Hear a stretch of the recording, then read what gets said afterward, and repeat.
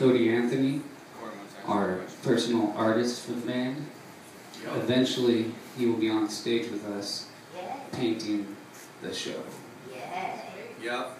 Well. Welcome, welcome to the water. Here's Coho.